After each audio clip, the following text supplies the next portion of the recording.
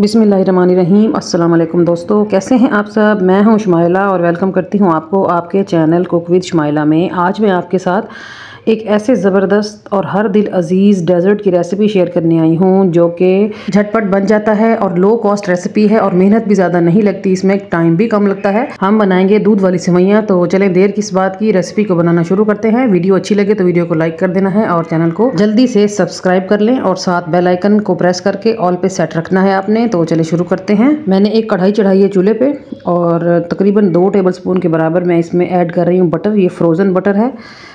एक से दो मिनट में ही ये मेल्ट हो जाएगा। तो जैसे ही ये मेल्ट होगा, मैं इसमें ऐड कर दूँगी सेवैयाँ मैंने सेवैयाँ ली हैं, कलर्ड सेवैयाँ ये धनक के नाम से मार्केट में इजीली अवेलेबल हैं। आपको आराम से किसी भी स्टोर से मिल जाएँगी। तो मैंने दो कप भर के इसमें ऐड कर दी हैं।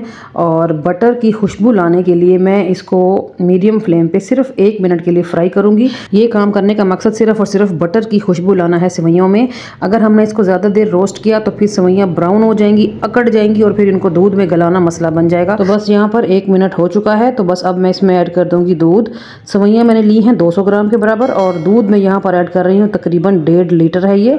और हल्का फुल्का सा मिक्स कर लेंगे दूध डालने के बाद, ताकि सवैयों में जो लम्स बने हैं वो खुल जाएँ, और फिर इसको कवर लगा के छोड़ देंगे उबलने के लिए। तो बस जब तक इसमें उबाल आएगा, हम उस दौरान एक और काम करेंगे। मैंने एक कप दूध एक्स्ट्रा से लिया है, एक प्याली में, और यहाँ पर मैंने लिया है कस्टर्ड पाउडर का एक पैकेट। मैंने लिया है स्ट्रॉबेरी फ्लेवर। आप फ्लेवर कोई भी यूज़ कर सकते हैं। तो जो दूध मैंने लिया है, मैं उसमें दो चम्मच भर के कस्टर्ड पाउडर के डाल दूँगी। और इसको अच्छी तरह मिक्स कर लेंगे। इसमें कोई लम्स वगैरह नहीं होने चाहिए, क्योंकि कस्टर्ड पाउडर जो है वो जाके नीचे बैठ जाता है। तो अच्छी तरह मिक्स कर लें। और कस्टर्ड पाउडर की मिकदार आप अपनी ज़रूरत के हिसाब से कम ज़्यादा कर सकते हैं। अगर आपको कस्टर्ड का फ्लेवर ज़्यादा पसंद है तो पूरे पैकेट का भी इस्तेमाल किया जा सकता है।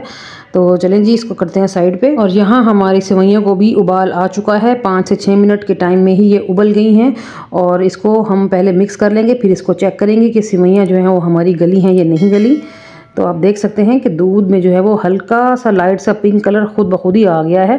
अभी हमने इसमें कस्टर्ड वाला दूध ऐड नहीं किया तो सेवैयाँ देखें आप। कि ये हल्का सा प्रेस करने पे ही टूट रही हैं तो इसका मतलब ये है कि ये गल चुकी हैं। और यहाँ पर अब हम ऐड कर देंगे चीनी। चीनी मैं इसमें डाल रही हूँ एक कप के बराबर।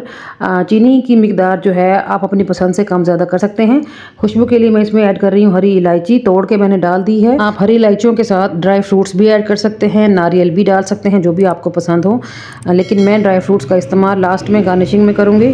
तो चीनी डालने के बाद तीन से चार मिनट मैंने इसको पका लिया है और अब हम यहाँ पर ऐड करेंगे कस्टर्ड वाला लिक्विड जो हमने बनाया था, अच्छी तरह चम्मच से पहले मिक्स कर लें, क्योंकि कस्टर्ड जो है वो नीचे बैठ जाता है तो दूध में इसको अच्छी तरह मिक्स करना ज़रूरी है। उसके बाद एक हाथ से ऐड करें और दूसरे हाथ से चम्मच से मुसलसल मिक्स करते जाएँ, ताकि कस्टर्ड के कोई लम्स ना बने। और आपने देखा कि जैसे ही मैंने इसमें कस्टर्ड वाला लिक्विड डाला है, घोल डाला है तो फ़ौरन से ही ये गाढ़ी होना शुरू हो गई है। ये देखें, इसका टेक्स्चर और इसकी कंसिस्टेंसी एकदम से चेंज हो गई है। तो बस यहाँ कस्टर्ड पाउडर डालने के बाद हमने इसको ज़्यादा नहीं पकाना, क्योंकि ठंडा होने के बाद ये और गाढ़ा हो जाएगा। तो कस्टर्ड डालने के बाद आपने तीन से चार मिनट ही इसको पकाना है, उसके बाद आपने फ्लेम को कर देना है बंद। तो अब हम इसको कर लेंगे डिश आउट। मेरी कोशिश होती है कि मैं आसान और लो कॉस्ट रेसिपीज़ दूँ, जो बहनें न्यू खाना बनाना सीख रही हैं, उनके लिए खाना बनाना आसान हो। तो मेरी आज की डेजर्ट की रेसिपी आपको कैसी लगी? उम्मीद करती हूँ अच्छी लगी होगी। अगर अच्छी लगी है तो वीडियो को लाजमी से लाइक करना है और चैनल को सब्सक्राइब कर देना है।